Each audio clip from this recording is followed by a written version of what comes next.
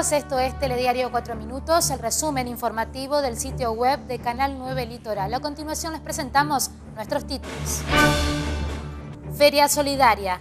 En el Club de Leones Paranacentro se realiza hoy y mañana una nueva edición de la Feria de Venta de Ropa. El objetivo es recaudar dinero para colaborar con hospitales y escuelas de la ciudad. Mañana estarán de 9 a 18 en Pellegrini 547. Prevención vial. En Crespo rige desde el sábado el no uso del auto por dos horas de 15 a 17 como medida para prevenir accidentes de tránsito. Reclamo de condena.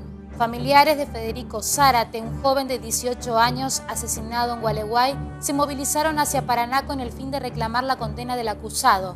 La víctima fue apuñalada cuando intentaba recuperar de un robo su moto.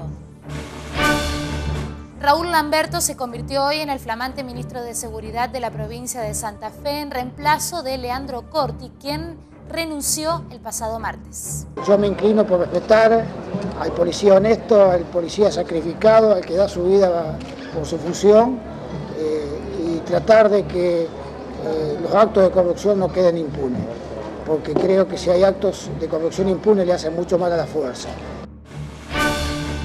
En el barrio La Floresta de Paraná fue asesinado ayer un hombre de 66 años. Era el sereno de la obra en construcción que se lleva a cabo en la Escuela Guadalupe. Fue ultimado con golpes de piedras y ladrillos. Hay tres detenidos por este hecho. Eh, en este hecho donde fue víctima del señor Oviedo, eh, inmediatamente policía de tomar conocimiento de esta situación, le da intervención a, a homicidio, donde se realizan todas las diligencias protocolares de rigor y momentos más tarde eh, se logran eh, colectar indicios que motivaron posteriormente la detención de dos hermanos mayores de edad, es un varón y una mujer, y bueno, y en horas de la tarde ya se realizaron eh, allanamientos que permitió el secuestro y la detención de una tercera persona que estaría a la postre ligada la Agencia Fiscal Municipal de Paraná comenzó un operativo contra amorosos de impuestos. Los deudores recibirán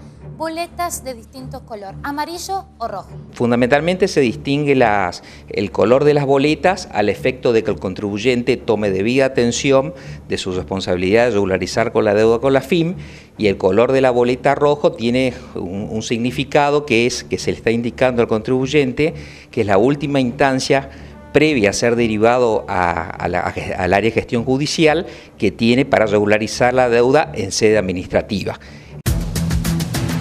Y en lo que respecta al pronóstico del tiempo, el Servicio Meteorológico Nacional anuncia para este martes una mínima de 13 grados y una máxima de 21 y estará inestable. Por habernos acompañado, muchas gracias. Esto ha sido Telediario 4 Minutos.